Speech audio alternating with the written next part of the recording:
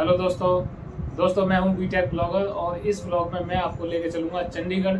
और जब भी चंडीगढ़ का नाम आता है तो दो तीन चीज़ें आती हैं, जैसे Sukhna lake rose garden rock garden तो अभी मैं निकलूँगा और निकलने के बाद मतलब एक ही दिन का टाइम है हमारे पास, क्योंकि ऑफिशियल वर्क है और उसकी वजह से ही जाना पड़ रहा है।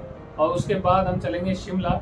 और शिमला जाने के बाद एक दिन का टाइम भी वहाँ लगेगा, क्योंकि वापसी आना थोड़ी मजबूरी है। और उसके बाद हम देखते हैं वहाँ चल के कि हमें क्या क्या देखने को मिलता है। और मेनली हम अभी निकलेंगे तो देखेंगे वहाँ पर कितने बजे पहुँचते हैं और कितना टाइम हमारे पास बचता है। तो मैं कोशिश करूँगा कि मैक्सिमम चीज़ें आपको दिखा सकूँ वहाँ पर जितना भी टाइम है और उसके बाद चलेंगे शिमला। और वहाँ भी एक दिन रुकेंगे तो वहाँ भी देखते हैं कितनी चीज़ें कवर कर पाते हैं। तो चलिए चलते हैं चंडीगढ़ और उसके बाद शिमला। तो दोस्तों हम ये निकल चुके हैं चंडीगढ़ के लिए। और दिल्ली से लगभग पाँच या छः घंटे हमें लगेंगे, अगर जाम नहीं मिला तो। तो ये एक झीलमिल ढाबा आप देख रहे होंगे, यहाँ पे हम लंच करेंगे और उसके बाद फिर आगे का सफ़र तय करेंगे।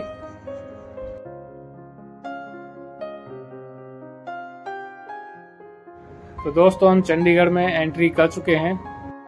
तो दोस्तों, पहले हम आ गए हैं रॉक गार्डन और ये जो बोर्ड आपने देखा है इस पे सारी डिटेल लिखी हुई है।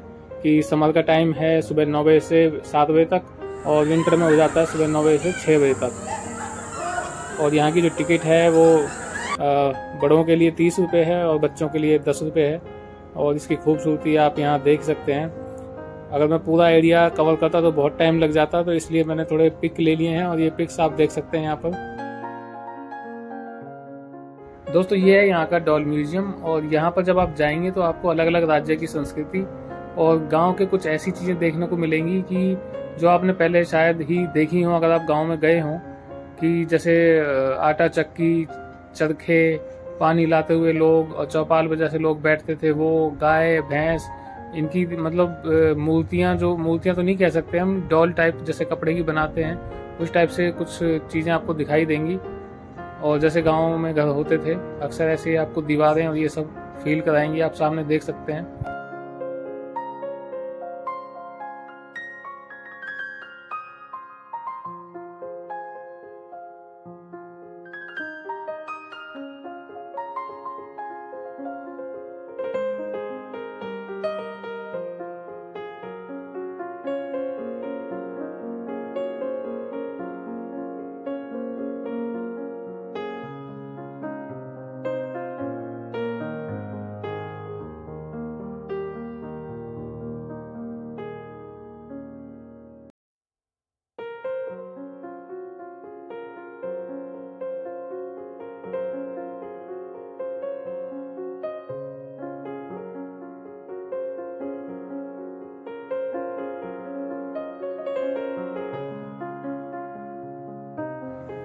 दोस्तों, ये जो रॉक गार्डन है, ये लगभग 18 साल में बना था और ये 40 एकड़ में फैला हुआ है।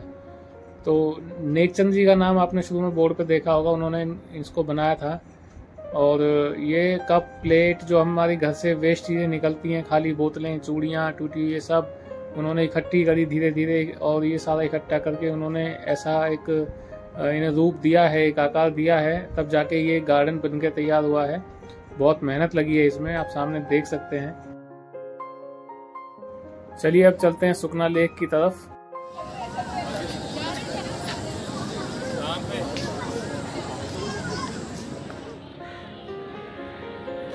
दोस्तों, ये सुखना लेक हम पहुँच चुके हैं। अब ये सामने आप देख सकते हैं। लेकिन टाइम लगभग छः बजे का हो गया है तो अब आगे ये परमिशन नहीं देते। और जो बीच में होते हैं पानी के, वो भी वापस आ जाते हैं छः बजे तक। दोस्तों, जब मैं टिकट लेने के लिए गया था, तभी मुझे पता चला कि छः बजे के बाद अलाउड नहीं है, लेकिन जो टिकट का रेट है वो मैं आपको बता देता हूँ, ढाई सौ रुपये में दो लोगों के लिए है मतलब एक सौ पच्चीस रुपये में एक बंदा जा सकता है। लेकिन ढाई सौ रुपये में आपको दो बंदों के लिए ढाई सौ रुपये डिपॉजिट भी करने होते हैं फॉर सिक्योरिटी वो आपको वापस मिल जाते हैं। ऐसे ही पाँच सौ रुपये में चार लोगों के लिए और पाँच सौ आपको सिक्योरिटी के लिए जमा कराने होंगे। तो जो लोग नेचर के करीब रहना चाहते हैं एंजॉय करना चाहते हैं तो ये जगह उनके लिए एकदम स्वर्ग है। तो वो आके यहाँ इन्जॉय कर सकते हैं। दोस्तों टाइम की कमी की वजह से मैं आपको इस वीडियो में सिर्फ़ दो ही लोकेशन दिखा पाया। तो सुबह मैं निकलूँगा यहाँ से शिमला के लिए और देखेंगे वहाँ पर हमें क्या क्या देखने को मिलता है। तो चलिए चलते हैं, मिलते हैं अगली वीडियो में। तब तक के लिए take care and bye bye